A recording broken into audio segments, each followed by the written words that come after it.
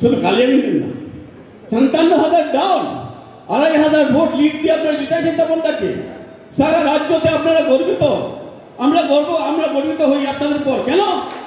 কালিয়াগঞ্জ এই মোড়ে BJP ডিরেকশনটাকে change করে দিয়েছে।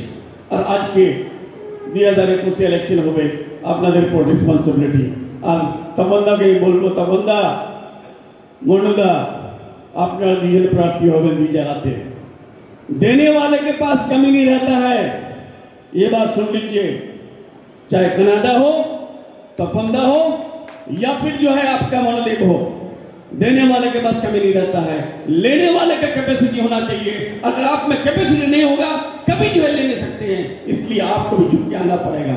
और बूथ में जा करके बैठ करके डिस्ट्रीब्यूट सबको। जो ईगो लेकर चलेगा, जो फैम लेकर चलेगा जो तकबर लेकर चलेगा, वो खत्म हो जाता है। इसलिए मैं आप लोगों से रिक्वेस्ट करूँगा कि आज एक एक बूथ में, बूथ का पहले रेशियो होना चाहिए, which booth is better one, which booth is worst one, which booth is our winning booth safe booth इसका बूथ का लिस्ट होना चाहिए आपके पास। और वही नहीं, कार्तिक पाल, उसके बाद कमल, उसके बाद वसीमदा दोदी मोहनदा दीपा जो टीम हमारा उस वक्त लड़ाई करके जिताया था आपको उस टीम को लेके एक बार नहीं जरूरत पड़ने पर एक सौ बार बैठिए यही टीम जो है इन लोगों को लीड करेगा ये लोग जो है पब्लिक को लीड करेगा और पब्लिक जब लीड हो जाएगा आप चौंतीस हजार वोट से ज्यादा वोट से जीतेंगे इस बात की गारंटी है থেকে আপনার বার্তা উঠে এলো এবং আজকে আপনি আপনার মঞ্চে থেকেই আপনি ঘোষণা করে দিলেন কালিয়াগঞ্জে বিধানসভা প্রার্থী এবার কে হচ্ছে আপনি ঘোষণা করে দিলেন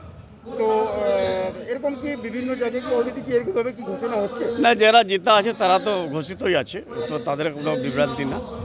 আর যেখানে আমাদের তিনটা বিধানসভা আছে, যেটা বিশেষ করে আপনার আপনার রায়গঞ্জ হেমদাবাদ চাকুলিয়া, ওটাতে এখন দিদি ফাইনাল করবে। আর তারপরে দিদি, সবথেকে বড় ব্যাপার, দিদি ফাইনাল করে, কে টিকিট পাবে, কে টিকিট পাবে না আমাদের দলের। এক। দুই নম্বর, আমরা জিতার আমি ধরে নিলাম আমাকে প্রার্থী দিদি করলে না। আমাকে দায়িত্ব নিয়ে হবে নিতে হবে। যে যাকে উনি প্রার্থী করবেন তাকে আমাকে জিতাতে হবে। হচ্ছে আগামী দিনে এবার বিধানসভা নাম ঘোষণা হয়ে গেল। না না কি কিন্তু গোলাম রব্বানীরা তিনি ঘোষণা করে দিলেন এবং আমাদের সাংবাদিকদেরকেও বললেন যে এখান থেকে যারা যারা জয়ী প্রার্থী উত্তর দিনাজপুর জেলা তৃণমূল কংগ্রেসের তারাই হচ্ছে। তো এটাতে আপনি কতটা এখন না আমি এই ব্যাপারে কোনো মন্তব্য এই জন্য করব না। যে প্রার্থী ঘোষণার ক্ষমতা একমাত্র মমতা বন্দ্যোপাধ্যায় আচ্ছা আর আমি যেটা বলেছি যে প্রত্যেকটা বিধানসভা ক্ষেত্রে প্রার্থী হবেন মমতা বন্দ্যোপাধ্যায়। ঠিক যখন এই লিস্টটা ঘোষণা হয়ে যাবে, তারপরে মমতা বন্দ্যোপাধ্যায় নিজেই ঘোষণা করবেন যে দুশো চুরানব্বইটা সিটে আমি প্রার্থী। এই জন্য কে প্রার্থী হবে কি প্রার্থী হবে এই ব্যাপারে আমি কোনো মন্তব্য করব না। কেন সেই ক্ষমতাও আমার নেই। সেটা উনি মন্ত্রী আছেন উনি কি বলেছেন সেটা নিয়ে আমি কাউন্টার করব না। উনি কি বলেছেন সেই কাউন্টারটা উনি করবেন।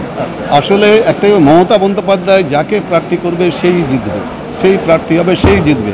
আর উত্তর দিনাজপুরে আমি এখনও বলেছি নটার মধ্যে নটা বিধানসভা সিটি জিতব। আমার পক্ষে এটা মানায় না যে আমি বলে দেবো কাউকে। উনি প্রার্থী হবেন উনি প্রার্থী হবেন না এটা মানে না। আমি একটা কথা বলব যে আমরা এখান থেকে তৃণমূল কংগ্রেসের যে প্রার্থী হবে সবাইকে আমরা জেতাবো আচ্ছা মানে একটা ব্যাপার হচ্ছে যে যে সময় এই সম্মেলনটা হচ্ছে একটা করোনা আবহাওয়ার পরিস্থিতির মধ্যে চলছে।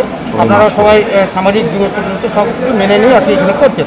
কিন্তু দেখা গেল এখানে বিধায়ক এবং প্রশাসকের মধ্যে সামাজিক দূরত্ব বজায় থাকলেও মনের দূরত্ব কিন্তু আজকে সব মিটে সব মিটে যাবে। রাতারাতি তো সব মেটে না আর আমি দায়িত্ব নিয়ে বলছি সব মিটে যাবে। হ্যাঁ সব মিটে যাবে একটাই কথা বলেছি প্রার্থী হবে মমতা বন্দ্যোপাধ্যায়। তাহলে তার দূরত্বের কোনো জায়গা নেই। প্রার্থী তো আর কেউ তপনদেব সিংহ প্রার্থী না মনোদেব সিংহ প্রার্থী না। দুটাতে প্রার্থী মমতা বন্দ্যোপাধ্যায়। এই জন্য দূরত্বের কী ব্যাপার আছে? মমতা বন্দ্যোপাধ্যায়ের সঙ্গে তো কারও দূরত্ব নেই।